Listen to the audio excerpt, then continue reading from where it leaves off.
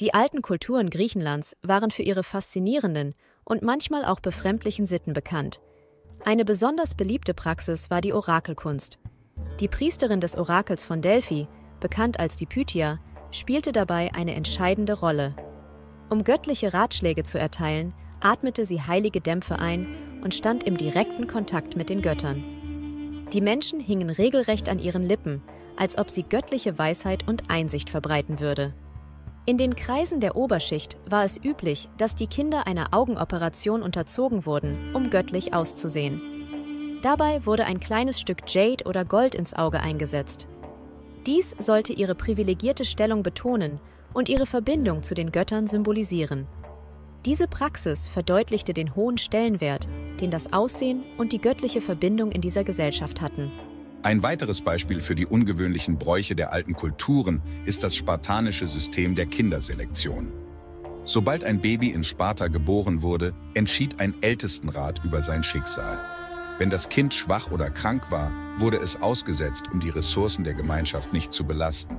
Nur die stärksten und gesündesten Kinder wurden aufgenommen und direkt ins Bootcamp geschickt, um zu einer zukünftigen Kriegsmaschine ausgebildet zu werden.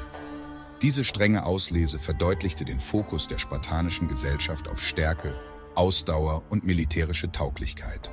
Auch die alten Kelten hatten ihre eigenen eigenartigen Bräuche. Sie waren für ihre Kopfjagd bekannt, da sie glaubten, dass die Seele im Kopf eines Menschen wohnte.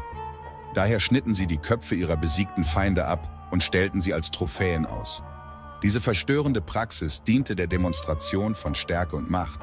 Die Köpfe wurden manchmal sogar einbalsamiert, und mit wertvollen Metallen verziert, um ihren Status als Sieger zu unterstreichen. Ein weiteres Beispiel für ungewöhnliche Bräuche liefern die Skyden, reitende Krieger aus der eurasischen Steppe.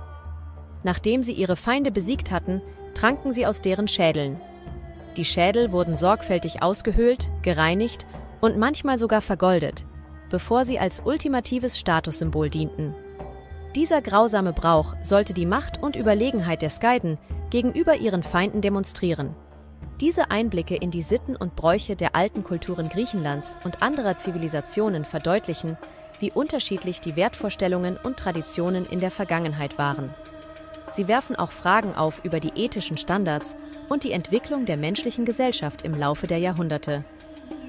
Es gibt viele weitere seltsame Gewohnheiten in antiken Zivilisationen, die wir erkunden können, in der antiken ägyptischen Zivilisation gab es eine faszinierende Gewohnheit, die mit Adligen und Königen verbunden war. Sie glaubten, dass der Hai magische und heilende Kräfte besitzt. Daher war es für Adlige und Könige erforderlich, auf eine Haifischjagd zu gehen und einen Hai zu fangen. Anschließend wurde der Hai getrocknet und zu Pulver zermahlen, um es für medizinische Behandlungen und Heilungen zu verwenden. In der antiken römischen Zivilisation gab es auch eine seltsame Gewohnheit in Bezug auf die Essgewohnheiten. Die Römer praktizierten eine Methode namens Kauen und Ausspucken. Anstatt das Essen vollständig zu schlucken, kauten sie es gründlich und spuckten dann die Überreste in ein spezielles Gefäß. Dieses Gefäß wurde Alectus genannt und wurde verwendet, um Reichtum und Verschwendung zur Schau zu stellen. In Japan gab es ebenfalls eine seltsame Gewohnheit in Bezug auf die Zähne der Frauen. Japanische Frauen trugen Fuchszähne. Eine dünne Schicht aus Gold oder Silber wurde auf die vorderen Zähne der Frauen aufgetragen, um ihnen ein fuchsähnliches Aussehen zu verleihen. Dieser Look wurde als attraktiv und schön angesehen. Dies sind nur einige Beispiele für seltsame Gewohnheiten in antiken Zivilisationen. Es gibt noch viele weitere einzigartige und faszinierende Gewohnheiten in verschiedenen Kulturen, die erkundet werden können. Diese Gewohnheiten spiegeln die Vielfalt der Menschheit und ihre vielfältige Geschichte wider und lassen uns über die Gründe und Bedeutungen hinter diesen seltsamen Praktiken nachdenken. Vielen Dank fürs Zuschauen. Ich hoffe, Sie haben diesen Videoinhalt genossen und etwas Neues gelernt. Wenn Ihnen das Video gefallen hat, würde ich Sie ermutigen, meinen Kanal zu abonnieren und weitere Videos zu entdecken. Dort finden Sie eine Vielzahl von professionellen und fesselnden Inhalten, die Sie interessieren könnten Ich freue mich darauf, Sie in meinen zukünftigen Videos begrüßen zu dürfen. Vergessen Sie nicht, die Glocke zu aktivieren, um benachrichtigt zu werden, wenn ein neues Video veröffentlicht wird. Vielen Dank für Ihre Unterstützung und bis zum nächsten Mal.